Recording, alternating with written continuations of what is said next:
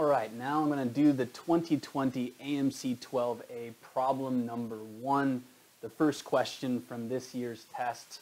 Let's get started. Carlos took 70% of a whole pie. So think about it. If he took 70%, then there's 30% left. Maria took one third of the remainder, so she took 10%. Then what's left? 20%. And what does it ask? What portion of the original pie was left? We've got it. It's C. And on to the 2020 12A problem number two. The acronym AMC is shown in the rectangular grid below with grid lines spaced one unit apart. In units, what is the sum of the lengths of the line segments that form the acronym AMC? Well, let's start by counting all the diagonals every diagonal that goes right through the square is going to be root 2 times the edge. So this is 1 root 2, 2 root 2, 3 root 2, 4 root 2. And in fact, there's only one answer with 4 root 2. So that's it. Now on the 2020 10A problem number 4. A driver travels for two hours at 60 miles per hour during which her car gets 30 miles per gallon of gas.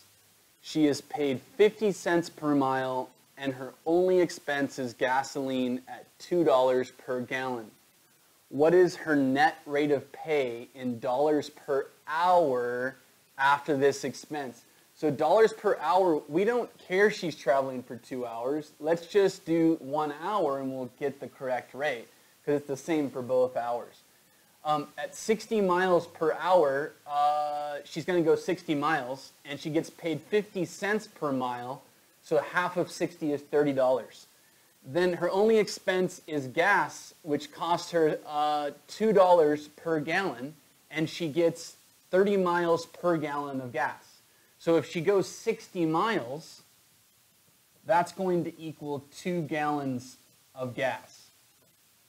And we can simply subtract 2 times $2, which is $4, to get 26.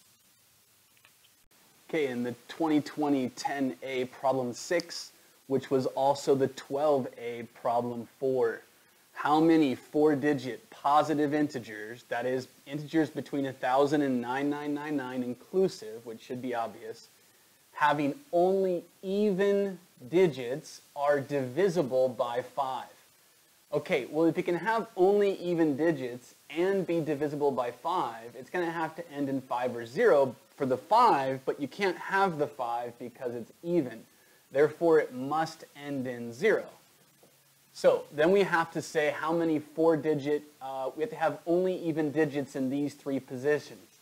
So in the first position, you cannot have 1, you have to have 2, 4, 6, or 8. You also can't have 0, there's four choices. The next two you can have 0 through 8. That's fine. That's uh, 0, 2, 4, 6, 8. That's five choices and five choices. 4 times 25 is 100. Continuing on to the 2020 10A problem 7, which was also the 12A problem 5. The 25 integers from negative 10 to 14 inclusive can be arranged to form a 555 square in which the sum of the numbers in each row, the sum of the numbers in each column, and the sum of the numbers along each of the main diagonals are all the same. What is the value of this common sum? Don't start making a 5 by 5 grid. Think about it. If it's a 5 by 5 grid, you're going to have five rows of 5, all of which must be equal. And so whatever the sum is of all the numbers in the, in the whole thing, I must be able to divide that sum by 5 to get the sum in each row. That way the sum is equally distributed amongst the rows. So we can just say that from negative 10 to positive 10, the sum is 0. We really need to add 11 to 14, which is 4 tens, which is 40, and the sum of 1 through 4, which is also 10, to get 50. And then we can just divide that by 5. That's the net sum of the whole thing. It must be that there's 10 in each row and column.